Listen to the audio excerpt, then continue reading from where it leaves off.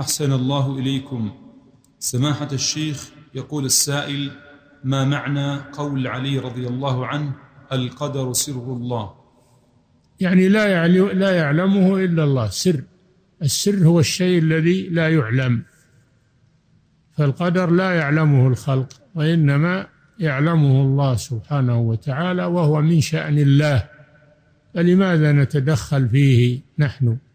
ولن نصل إلى نتيجة لأن الله لم يأمرنا بذلك إنما أمرنا بالإيمان بالقضاء والقدر ولم يأمرنا بالسؤال عنه والبحث فيه. نعم.